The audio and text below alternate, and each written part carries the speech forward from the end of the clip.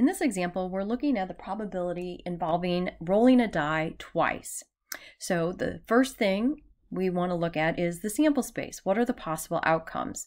Well, we're going to do this in an organized way, and that is to identify the first roll uh, in a vertical column here, 1 through 6, and then across the top, the second roll is going to be identified 1 through 6. And then we can say 1, 1 means I roll a 1 and then another one. A 1, 2, I roll a 1 and then a, a 2 and so on down the line. So we're going to come up with a total of 36 outcomes when we list them all out. Now that we know the sample space, we should be able to come up with the probabilities for certain events. The first one that we're asked to identify is what's the probability of getting two even numbers? All right, so if I want an even number, that means that it's a number like 2, 4, or 6. So we're going to be focusing in on this second column the fourth column, and the sixth column. But we don't want everything in there, right? We only want the ones where both are even. So it'd be this, uh, this, this. So 2, 2, 4, 2, 6, 2. Go to the next even column, the 2, 4, the 4, 4, the 6, 4, and then in my sixth column, 2, 6, 4, 6, and 6, 6. So my probability here, there are nine of those. My probability is going to be 9 out of the 36.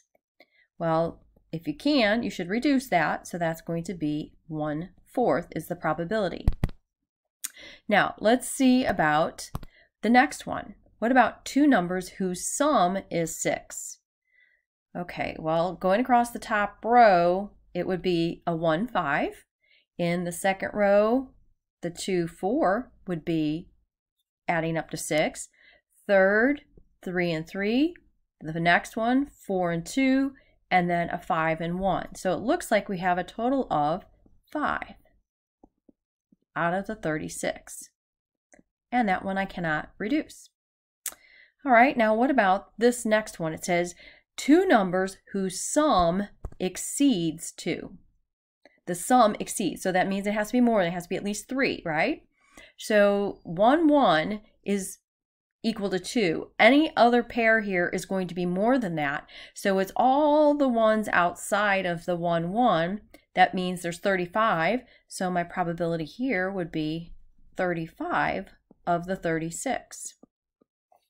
All right, now this last one. This is a little bit trickier. It says two numbers whose sum is less than 20. Go ahead and hit pause and see if you can identify that one. All right, so what'd you come up with? If I'm looking at this sample space, the biggest numbers we can get are 6 and 6, right? If I add 6 plus 6, that's 12. So everything is going to have a sum 12 or less. So this means it's going to be all of them. The probability is 36 out of 36 or 1 or 100%. Let me know if you have any questions.